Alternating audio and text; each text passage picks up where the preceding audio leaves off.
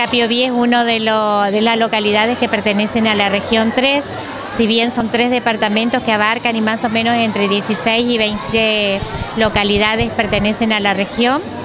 Y hoy este, me convocaron y me invitaron para la Feria de Ciencia Escolar, acá en el predio del NENI 2012 que también es un NENI con varias extensiones en varias localidades este, y hoy participan todos, son 16 salitas en total y algunas pertenecen a Ruiz de Montoya, otras a Capiobí, eh, otras a Garuapé y algunas de Puerto Rico.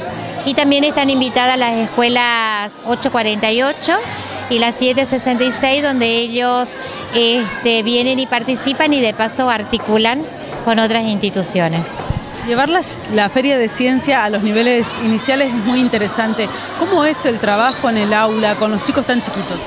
Bueno, nuestra manera o modo de trabajar es a través de los proyectos de las unidades didácticas.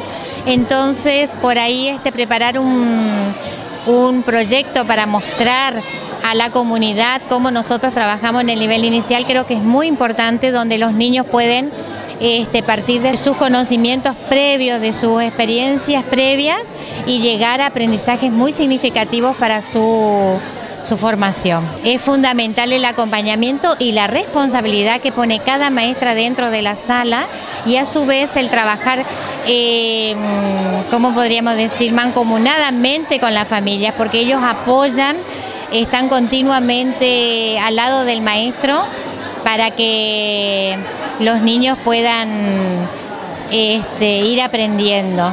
En junio tendremos la instancia zonal, ¿sí? que este año, por una cuestión de organización, va a ser acá en Capiobí. ¿sí? La fecha es el 22 de junio de 14 a 18 horas. El lugar estamos a confirmar todavía, ¿sí? Al igual que en otros niveles, también se desarrolla la Feria de Ciencias con los más chiquitos, con el nivel inicial. Sí, este año eh, por suerte pudimos agregar a todas las modalidades, ¿sí? Eh, primaria, secundaria, superior, profesorado, los EPCA, sería la escuela de adultos, ayer tuvimos la eh, feria provincial de los EPCA en Leoni, y también las escuelas privadas, ¿sí? que se suman y todas las escuelas, escuelas bilingües, ¿sí? todas las escuelas, o sea, todas las modalidades se toman en cuenta para la feria. En el caso eh, de los niveles iniciales vemos una variedad de trabajos muy interesantes que van desde salud, huerta, eh, fabricación de jabones también. Sí, eh, la verdad que a nivel inicial es impresionante la variedad de trabajos que fueron desarrollando en esta instancia escolar, ¿sí? este es el, el NENI 2012 en Puerto Rico tenemos la otra sede que es el NENI 2075, ¿sí? que también abarcan eh, varias escuelas, creo que son tres en total, ¿sí? y eh, han trabajado eh, realmente una belleza los trabajos y el agradecimiento importante a los padres y a los docentes que realmente el trabajo es excelente.